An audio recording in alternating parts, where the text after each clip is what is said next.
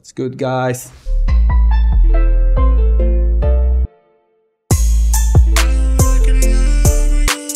I need to do this poster for a live event we're gonna do in which my clothing brand No Free Will will be in it. So I need to do a poster that I want to do prints for it to then sell on the spot. So let's open the file. Oh, sorry, I didn't change the scene. What a fucking noob. Like, that's good, right?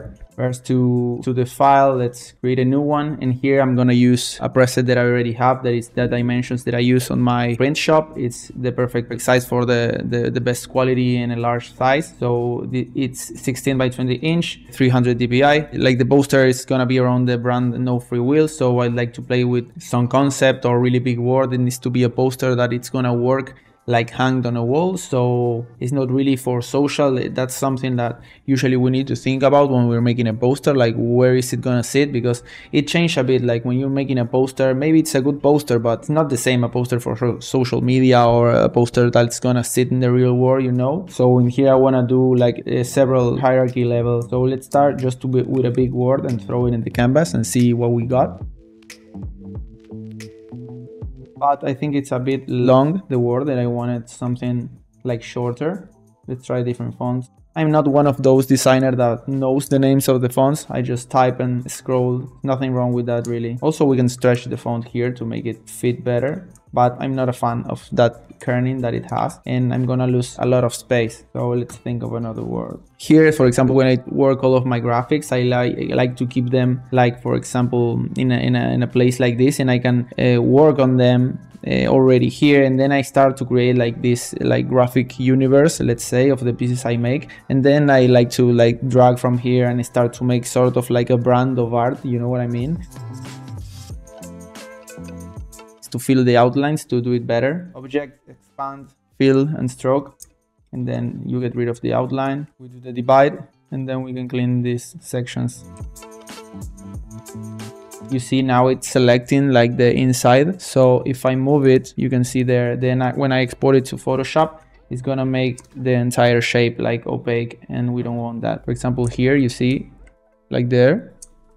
Then we get rid of it like so when we see another. Sorry what I'm doing here like I'm selecting I know the shape is there so I'm selecting and then getting rid with shift click of the this black part to see what we with what I have right? And you can see here it's selected like the shape that I need to get rid of that I couldn't click before because I have this in my way like this this shape. I can't click on the edge and get the shape that I need because when I did the divide all the overlapping shapes it, it, it makes separate shapes out of them and I need to get rid of those. So you see if I do this and select everything and then I click here it gets rid of that internal part or rather select it and then I get rid of it. And let's see if I bring this to Photoshop. I'm gonna leave this here because I'm gonna use it later. But back to the poster. Determined think it's like it's better, it's more potent, and it's shorter. That's what I'm looking for. Like this, I'm gonna grab some pictures. This is the t-shirt.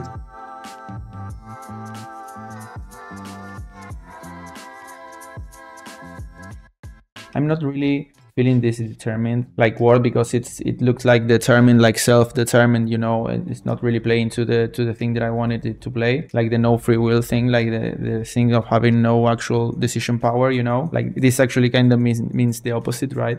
I can fix it later. I just want to get some elements in there first. Actually this is the my vector pack the the one that i have on my store. Like this is the original file. And then i started to really fuck it up and play and play with it right? So i think these graphs like really go well with this because they really play in with the idea of having no free will because it's all variables, right? Variables that are already determined. And I think graphics are a good element to try portray that idea. Go well also because of the mod modularity aspect that I want to give the piece, like everything kind of like fitting, right? The complete detachment of the result is more of a design syndrome thing, like my personal brand, let's say, but I, I like to keep it like close to, to everything that I do. And right now, starting to play with, for example, the, the guide that we are forming here with the picture and the and this graph. Well, this is really simple, but you see here, for example, it's already starting like sort of work, you know, like you have a big word and then it's counterbalanced by another kind of smaller thing on the top and a really small thing at the bottom, and then you can start to to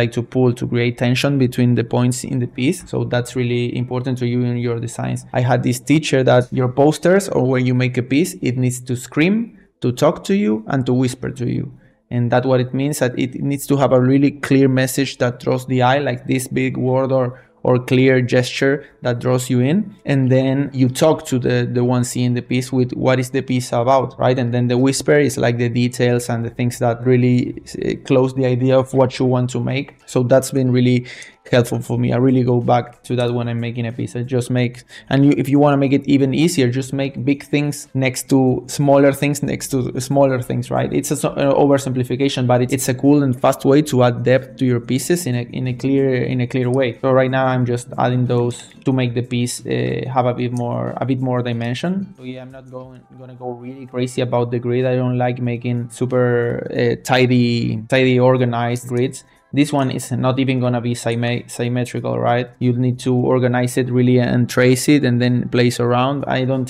then tend to do it like that. For this, I like to keep it like more playful, you know, and really, really have fun with it. I'm not here for making a like a, oh, a conceptual graphic define this design poster. I want to do something that that looks would look cool on a wall, you know. And then all these patterns maybe you don't see them right away but your brain recognizes them and you make these uh, predictable patterns. So the brain really locks on into those stuff. That, that's why grid works. I'm gonna play a bit with enlarging this like to a ridiculous degree. I also have, for example, from the clothing brand, I have like the same type of document. I made also like a little system of of little elements and things that go with the brand so I can really easily grab them and, and repeat them over the span of several pieces to really make the identity, right? Poster is gonna be like two colors because I'm gonna screen print this. You see, if you set you're in a in a group and you set it to pass through the group uh, blending mode, it's gonna just stack all the blending modes as if the group wasn't even there. Like the group in, in this part, it would be just like an organization thing. But if I set it to, to multiply, for example, it's gonna stack everything that's within the group and then to the result of that is gonna multiply it like it's not gonna apply the multiply like stacking down you know what i mean like for example if i go here and i do a, a black and white filter it's gonna do it just to these two images after it goes to the to the part below. For example, if I make a new layer here and I paint with red, for example, you see it's red because it's not collapsing all the effects on top of each other outside the group. You see if I go to the group and I set it to pass through, you see how it the black and white is starting to affect this layer here. So I turn it on and I set it to if I even if I set it to normal, it's gonna just do it to this to this layer. And now actually I'm gonna make a, make a medium stipple set it here. This is uh, an action that I made for doing this stipple effect, but it's not out yet. I'm working on it. See how we can control and have a bit of a bit of more gradation in the middle. That looks cool.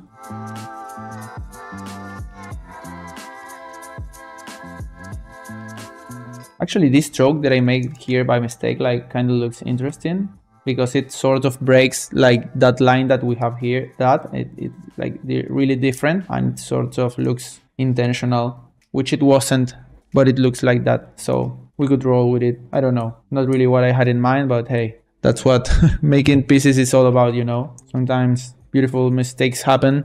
I'm gonna leave it for the time being. You see how I, if i set the group to normal how it blends like that but if i set it to multiply like it stamps it, it stamps over the the red swoosh or whatever it, whatever it is. I leave it to normal. I think i like the i think i like it better this way. Still not completely sold on the word because i wanted to do something like heftier larger like this you know something more condensed a bit more like little details on here and maybe in here and then a word in the middle of the of the chunkier one let's say I really like this type also, so I'm gonna keep it. I'm right here like stretching words from the handles. My typography teacher would just fucking kill me, you know what I mean? But Chaos, I don't know.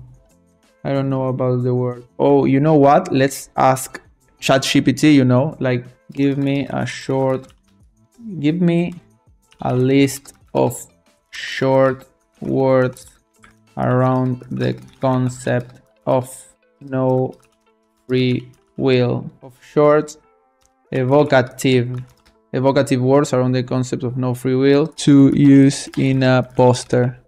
Let's see. Oh you see determinism i was wanted to you fated fated is fucking let's go.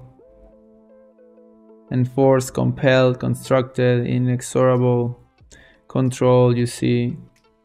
Like this is one good case of use for AI, you see, because maybe I didn't have the vocabulary to come up with these words, but I can read them. And if the concepts like really apply because I know them, like then you can start and it's not the AI doing the thinking for you like you need to add to this on top of it right? Bounded's a really good word because you can think of it like really graphically I think. The letters that it uses the B and finishing with the D it's gonna give us some nice round edges in the in the corners of the word that I wanted because I'm gonna say it I think I don't know I'm gonna show you. Bound let's go I'm gonna do now it's control click on the thumbnail to get the selection of the word and I'm gonna go do a, a solid color layer in the color black and in here I can really go crazy with it.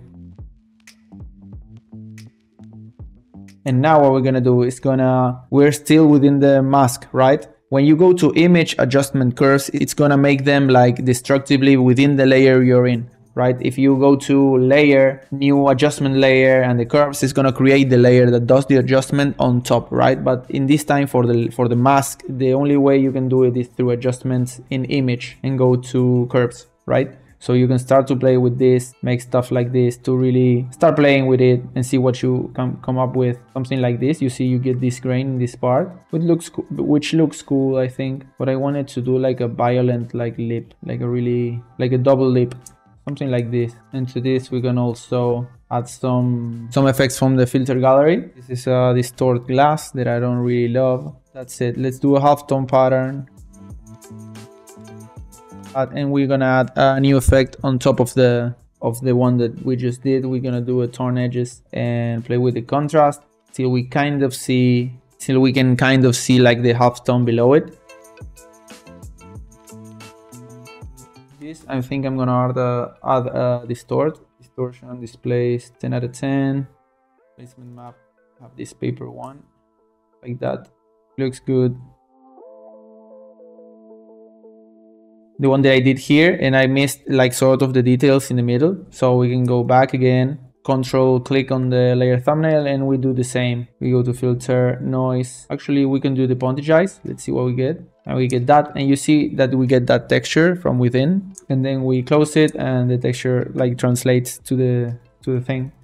I'm thinking about the composition a bit again. We think i think i need to make a like a larger chunk. This works. Come on.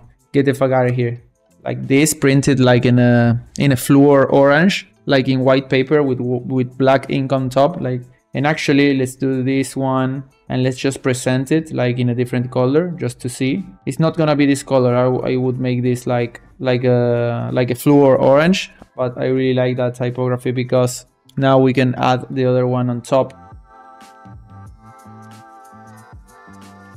but you see how all these like messaging quotes and things that I started to play like before they all like kind of bleed into each other because I have like these sort of topics that I like to do for my pieces so then I can go back and, and, and grab things and, and mesh them together, like make a sort of Frankenstein of every piece with, with work that I have already done before, you know. It gives it, I think, like a more, to drive the point home, you know, about the pieces that I make and the concepts that I like to, to, to tackle for my pieces. And to this one, what I'm gonna do, I'm gonna duplicate it again just to keep it at hand. I'm gonna create the outlines for this. Here I'm gonna shift the stroke with the inside color and I'm gonna make it a bit larger and I'm gonna shift it to the outer part so we get that sort of effect you know you see here for example how the U it's it's coming in and the N it's sort of leaving a gap that's a bit wider than here on the D so to balance it out maybe we need to close this a bit and here we open it a bit more. There is no mathematical measure for this. You just need to to see it, if it looks better, if it looks jarring in any way. And here is the same, you know. Maybe we need to take this a bit further. Scale, shear, and here we can shear it like this. And actually now I'm starting to think a, a bit more like little paragraphs of text. I'm gonna give it to ChatGPT, like give me some small paragraphs talking about the, the bound concept around having no free will.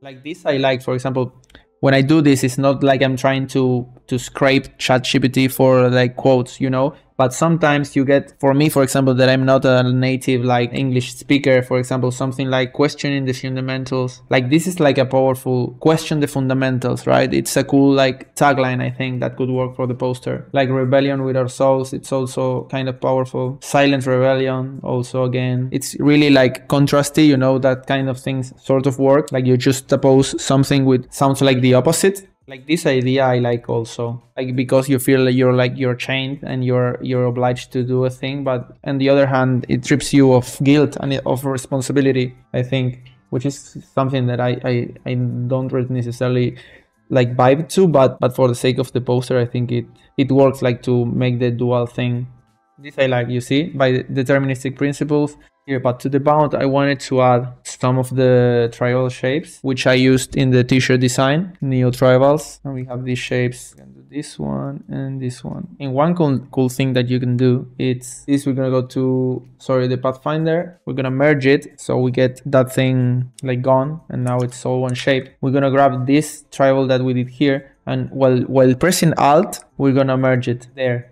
you see by pressing alt. And now what's cool about this is that it's merged but we can still go in and move this about. So we can do this invert it and we can enlarge the the stroke. Still we can't like make it to the outside but we can play a bit and and maybe play with the tribal shape. And yeah also graphically i think the the word like being bound with the tribal shape like it's some sort of membrane like really i don't know. It looks cool and i think i give it that purpose and i think it makes sense from that point.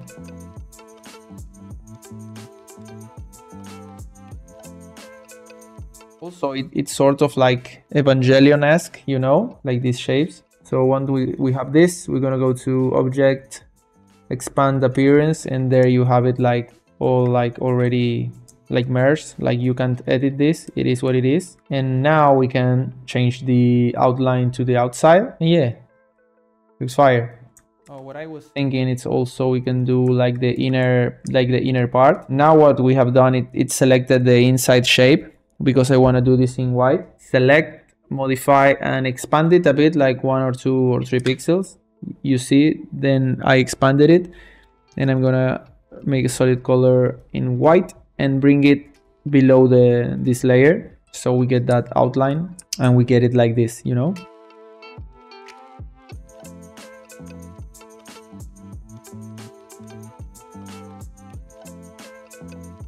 like with these settings like really light you get something like that and then on top a torn edges. And you you play a bit with the with the settings and you get that sort of, of finish that it looks really cool.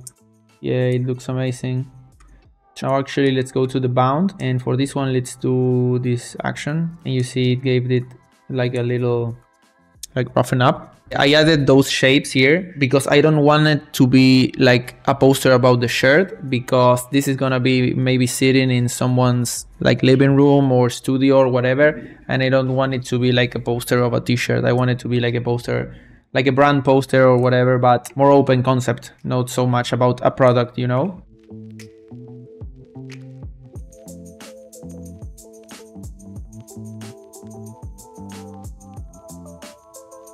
I really like the composition like this. I need something here to, I think, to balance it out because it's like the poster is kind of falling like in, in the direction, in this direction, you know? Like I need something here, I think. I want to see what happens if I make this.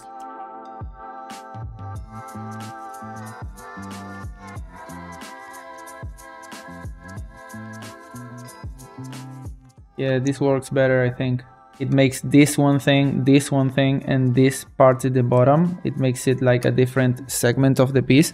And now you see it's not like falling below. It gives it a bit more breathing room, you see?